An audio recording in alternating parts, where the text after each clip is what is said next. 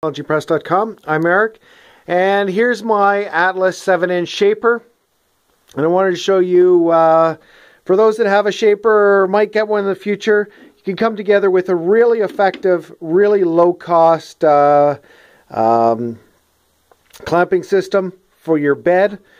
And you can use this on a mill too. I used one on my mill before I went with uh, the big Kurt vise that I got uh, during the last U.S. economic downturn when the Canadian dollar was fantastic and all sorts of things were being sold off fire sale like.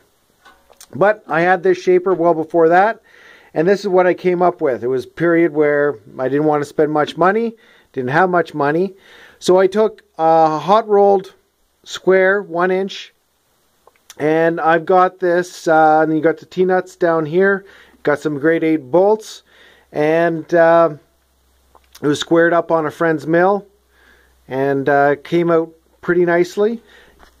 You put this in place with uh, just a square onto your uh, frame here.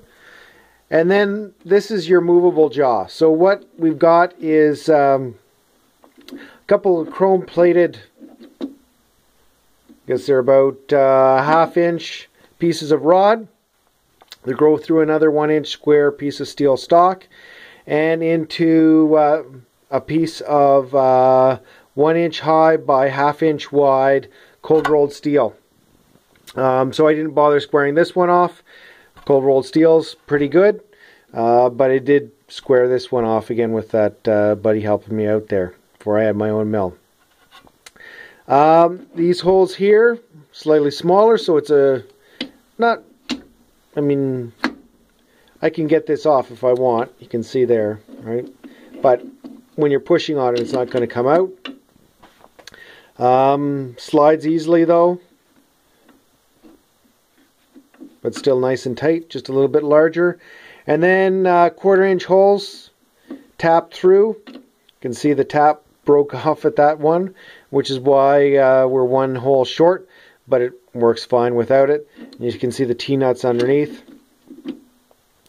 So you clamp it in place, your T-nuts in place, and then take up the final slack and apply the pressure by uh, putting in uh, quarter inch bolts or uh, cap head screws like we have here.